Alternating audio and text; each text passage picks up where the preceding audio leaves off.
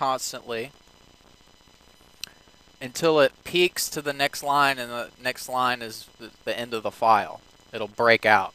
So that's what we want it to do. So we're going to say string line equals sr dot read line. That's going to read the line of the file. And if you remember, the first line is the dimensions of the array. So we got to add that in here. So let's say if current y equals equals 0, then we're going to make our array. We're going to build it out. I'm to put an else here. Okay, so string array equals dimensions equals line, the current line we just read, dot split. Now split is a badass feature. Basically, I just put split. So that first line that we read, it's going to read this line, and it's going to come to dimensions right here. Then it's going to find this little character, and it's going to make an it's going to make an array of two items, the 18 and the 8. And that's perfect because that's what we need. We need the width and the height. So it's going to take this character and give us these two in an array. So we'll say width, oops, width equals int dot parse and then dimensions 0. Now I'm lazy, so I'm going to copy this. And I'm going to say height equals dimension 1. You get me? You with me? So the first, so that first one right here in the array, there's going to be two items, is 18, the width. The height is going to be 8. It's going to be the first, it's going to be the second one in the array, which is index 1. So, now we got to clear out all the the map data or the data. So we'll say do a for loop for x equals 0 x is less than height or width. My bad. x plus plus uh what the heck? x plus plus. There we go. I'm going to copy this. We're going to do a nested loop. And this will be the y. Now, we'll say map data equals 1. Oops, I gotta put the dimensions here. So, x, y. Bam! So basically we got that finished. We cleared out the map. So, if there's one missing or something like that and it has a negative 1 in it, we'll know to skip it in the draw when we go through all this. Now for the draw or for the reading part. So let's int current x equals 0.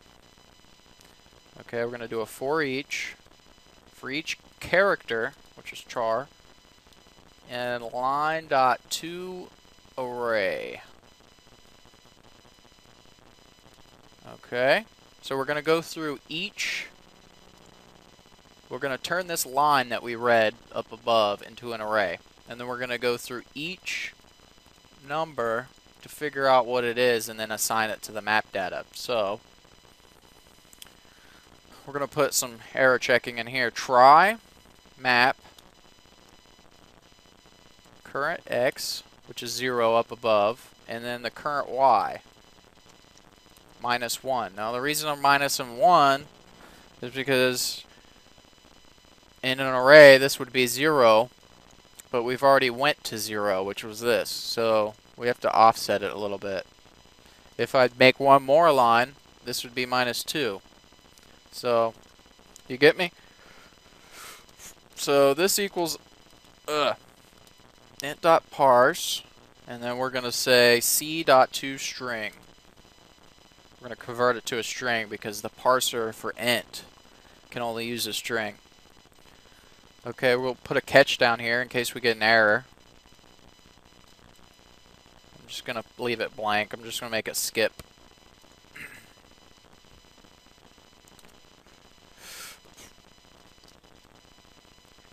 So we got that. Fills up the thing. Oops. Now we have to plus this. So basically when we go through that first loop right here, it'll add 1 to x. So then this number right here in the array will match this. So you get what I'm saying? So we increment this for every character that we read in the array. Okay, and then we got to increment the y. That way, this number corresponds with what line we're on. Because it's going to come through, it's going to hit all this code, it's going to do all the x's. It's going to do the, this row, this loop does it. And then after it does that, it'll hit this, which when it comes back up to here, it's going to read the line again, or read the line, which it'll go to this line. And it'll come back and do this again until it's at the end of the file. So that looks good. We got that. We got the load code. We're done with that. So let's put the draw code. Public, oops, void draw sprite batch. Okay, I'm going to copy some code right here. Bam. Easy as cake. so I got up. I do this every time. This is wrong right here. This is height. So change that.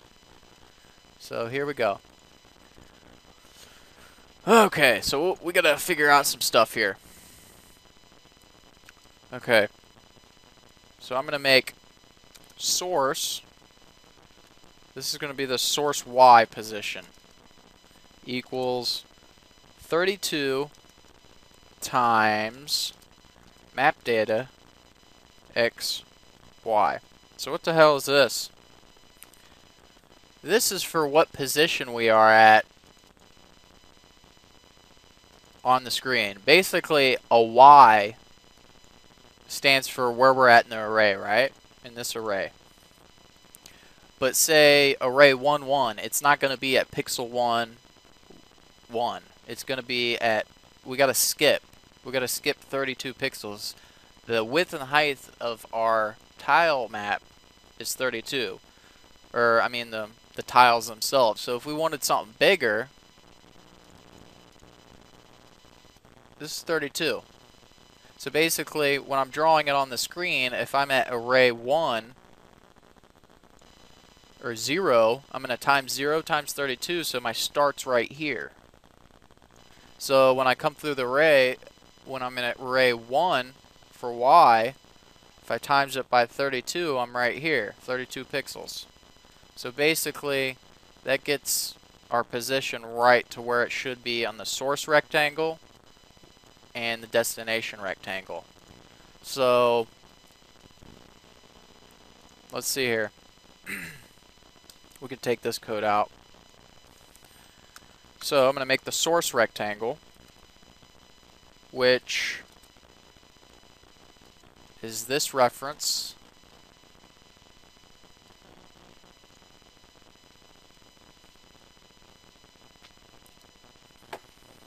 Okay. Thirsty. Now source rectangle means you tell the computer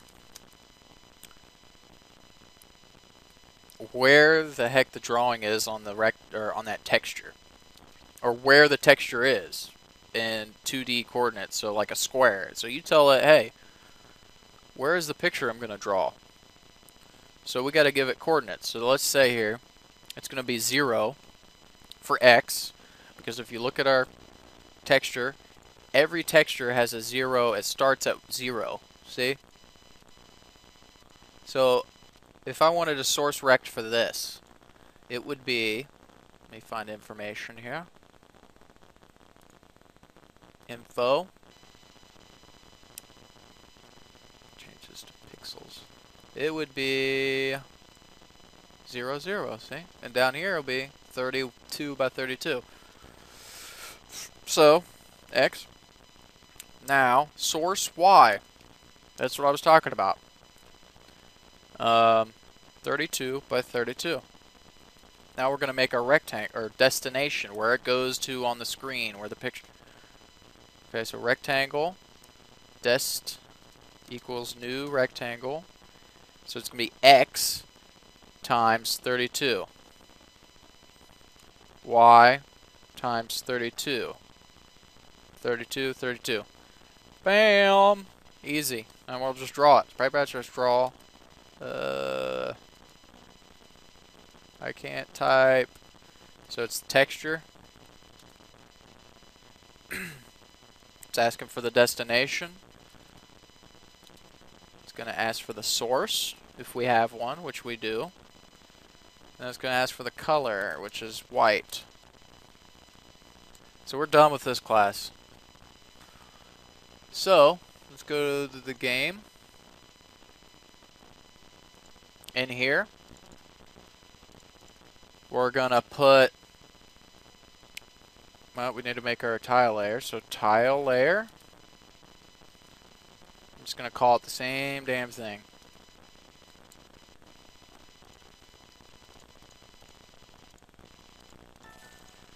So tile layer, we'll put it in look equals new. Where's the texture? Well, we got to load the texture. So content dot load texture 2D and then the name of our texture, which is texture. Easily enough. The content path. So it's going to be content dot root directory.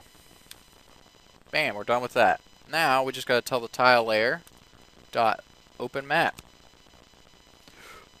And our map is called map 1.